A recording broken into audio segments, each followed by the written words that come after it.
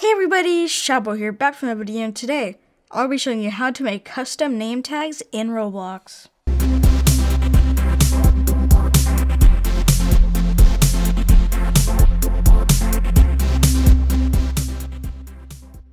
The first thing you're going to want to do is make the name tag. So I'm just going to right click this. I'm going to click Insert Object. And then I'm going to find the billboard GUI. You have to look around here, it should be in the GUI section. And then you just click it when you find it. And then we're going to add some things inside of it so it looks like it's an actual name tag. So, you're going to want to right click the billboard GUI, insert object again, and then we want to insert a text label. And then you should see a white box with some text in it, like that. I'm to make it contain some text and make it look a bit better. Because right now it looks a bit ugly. So let's go to the text label. It should be an Explorer right there. And then we're going to click it. We're to do this. We're to go to the properties and then we're going to scroll down till we find size. We're going to set this to 1, 0, comma 0, comma 1, comma 0. So it should be fully scaled. Now, you want to go to the billboard GUI and change the size of this. So if you scroll down, you'll see the size. We're going to change that to 1, 0, 1, 0. It should be a certain size.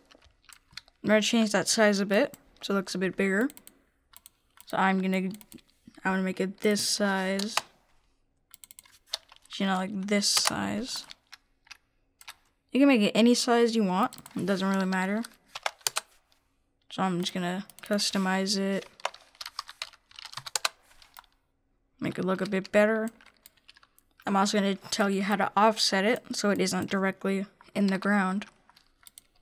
You would just want to scroll down, go to studs offset, and then change the middle value right here. And that should elevate it a bit. Now the text is still moving a bit like that. So we're going to go to the text label. We're going to scroll down. And then we're going to go to text scaled. then it should be scaled correctly to it. It may look a bit weird when you go up close to it like that but it still works. So now, we're gonna go and insert the billboard GUI to starter character scripts. So we're gonna grab it, we're gonna drag it down here, go to starter player, and then starter character scripts. Then you can put it there. So it should be there now. So if you join the game, if you press play,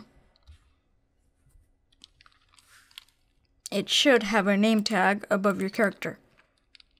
But it doesn't say anything in it yet. It just says label. You want it to say your actual name, your username, in the name tag. So we're going to click stop. And now we're going to start scripting it so it says the right name. So we're going to open up the billboard GUI. Then we're going to right click the text label we're going to insert object and then insert a script. And then this should pop up and now we're going to start scripting.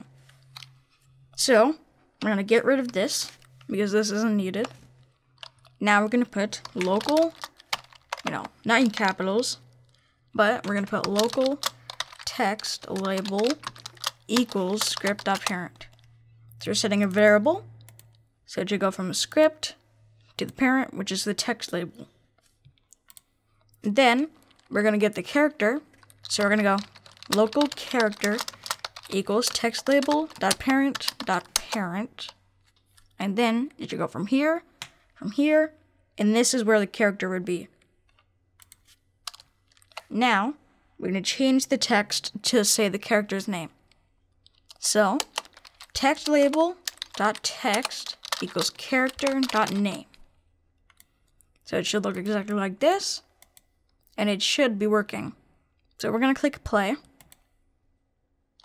And then it should say your name exactly right there. If it still looks a bit weird, you can customize it more. We can take, we can drag it out of here.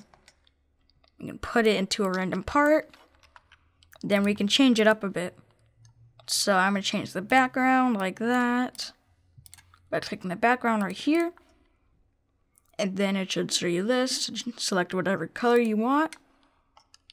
I'm also gonna change some more settings, like the font. I'm gonna change it to arcade. And I'm also gonna change the text color, like this.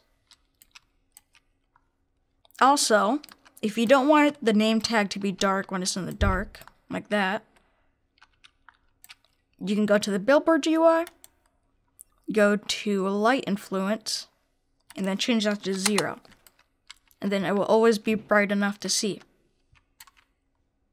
Now we're going to go back to the text label and change it some more if you want to. And then, once you're done customizing it, you can drag it back down to starter character scripts. And then, it should still work, as long as you didn't change the script or anything. And bam, you have a custom name tag inside of your game. Slap that like button and punch that subscribe button. Peace.